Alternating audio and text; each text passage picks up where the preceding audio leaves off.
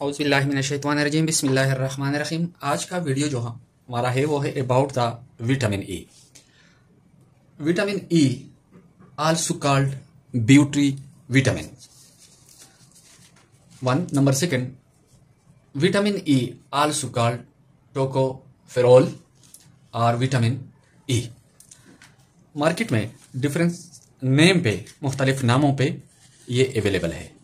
अभी हमारे पास जो है, वो है कैप्सूल एवियन एवियन मार्केट में अवेलेबल है vitamin E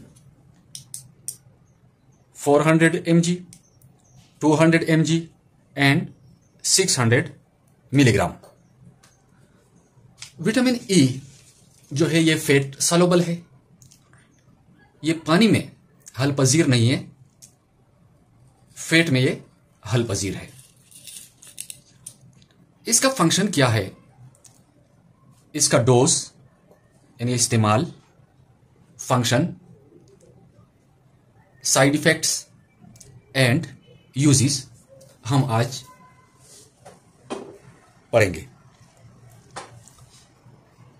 vitamin E e जो है, ये स्किन के लिए, यानी जिल्द के लिए भी इस्तेमाल होती है।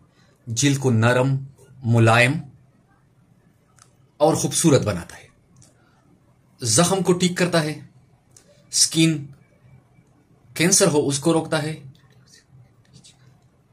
स्किन पे दाग, धब्बे, उसको मिटा देता है। चेहरे पे दाने जो निकलते हैं, उसको भी ठीक करता है।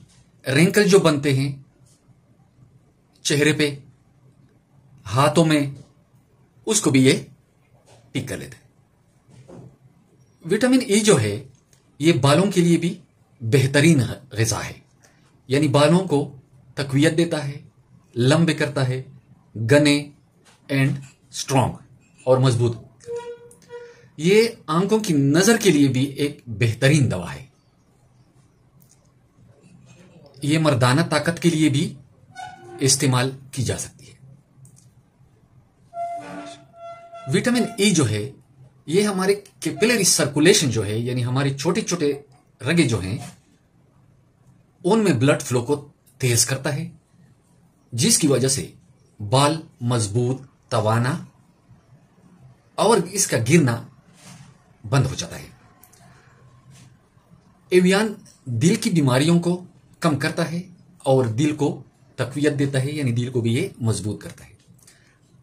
मसल जो है, दिल के मसल है, यानी cardiac muscle smooth muscle skeleton muscle all muscle जो हमारे है बॉडी के, उसको ताकत देता है।